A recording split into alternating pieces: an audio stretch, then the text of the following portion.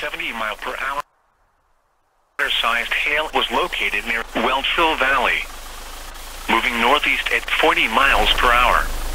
This severe thunderstorm will impact the following locations. Hazleton, Angora, Prior